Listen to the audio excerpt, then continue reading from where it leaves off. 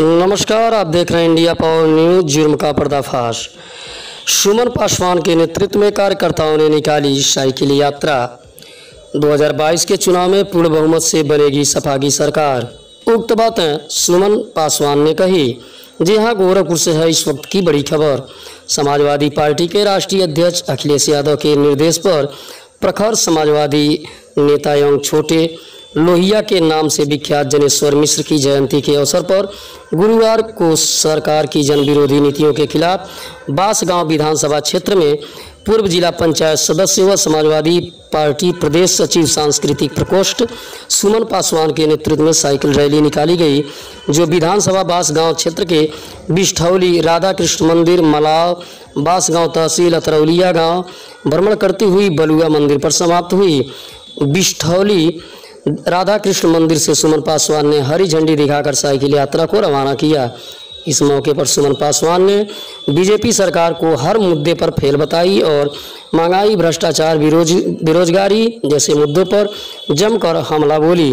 सुमन पासवान ने कहा कि भाजपा सरकार में महँगाई चरम पर है। डीजल, पेट्रोल, रसोई, गैस सहित सभी वस्तुओं के मूल्य बढ़ गए हैं। हर तरफ़ भ्रष्टाचार व्याप्त है। बेरोजगारी काफ़ी बढ़ गई है।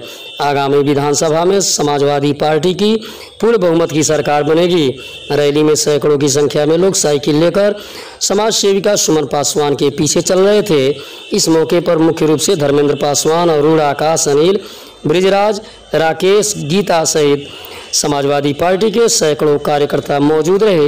देखें इस रिपोर्ट। जनेश मिश्रा जी के जयंती पर आए हुए सम्मानित सभी समाजवादी पार्टी के वरिष्ठ नेतागण, कार्यकर्तागण, सम्मानित सभी लोगों को प्रणाम नमस्कार करते हुए आज जनेश्वर मिश्रा जी के जयंती पर आप सभी लोगों को बधाई देते हुए कि जनेश्वर मिश्रा जी एक ऐसे शख्सियत थे जिनका हम आप सभी लोग गवाह हैं। नेता श्री मुलायम सिंह यादव जी को ये रास्ता दिखाए और उस रास्ते पर चलने का काम हम लोग सब लोग करेंगे। आने वाले 2022 में समाजवादी पार्टी की सरकार बनेगी। जनेश्वर मिश्रा जी का सपना पूरा होगा। हम सब साथियों का सब समाज का भलाई होगा। और आप सभी लोगों से यही निवेदन करते हुए कि आप लोग यहाँ पर आए आप लोगों ने इस कार्यक्रम को सफल बनाया। इसके लिए बहुत बहुत धन्यवाद, बहुत बहुत साधुवाद। जय हिंद, जय समाजवाद